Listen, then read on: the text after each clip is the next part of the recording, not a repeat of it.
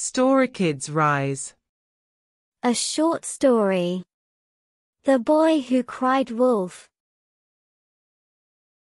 Once upon a time, in a small village nestled among rolling hills, there lived a young shepherd boy named Jack.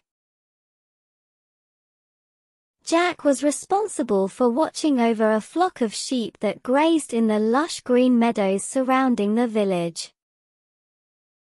One sunny day, as Jack sat on a grassy hillside, he grew bored. To amuse himself, he decided to play a prank on the villagers. He stood up and shouted at the top of his lungs, Wolf! Wolf! There's a wolf coming to steal our sheep. Hearing the boy's cries, the villagers rushed to the meadow, carrying pitchforks and other tools to protect their precious sheep. But when they arrived, they found no wolf. Jack was laughing, thinking it was all a great joke. There's no wolf here, you fools! I was just having some fun. The villagers grumbled and returned to their homes, shaking their heads. They warned Jack not to play such tricks, as it could cause real trouble.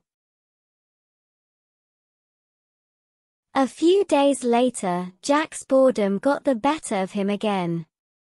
He decided to play the same trick once more. He stood on the hillside and yelled, Wolf! Wolf! Help! The wolf is back! Once again, the villagers rushed to his aid, only to find Jack laughing at them once more.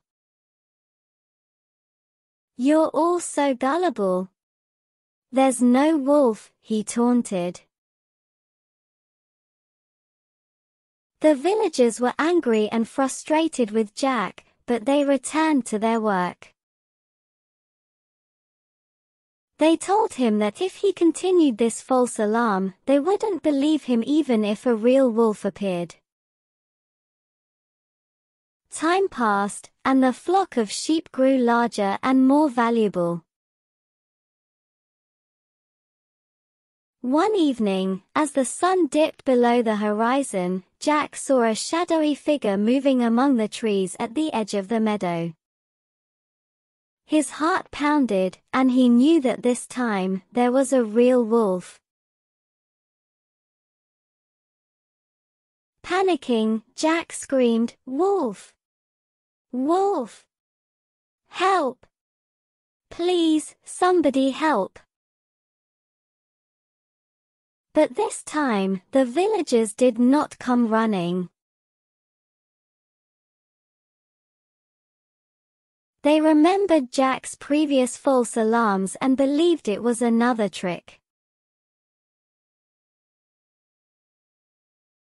They thought he was once again trying to fool them. Tragically, the wolf did indeed attack the flock of sheep, and Jack was unable to defend them alone. When the villagers eventually arrived, it was too late. The wolf had scattered the sheep, and some were lost forever. Jack learned a painful lesson that day, one that he would carry with him for the rest of his life. He realized that lying and seeking attention through deceit had serious consequences.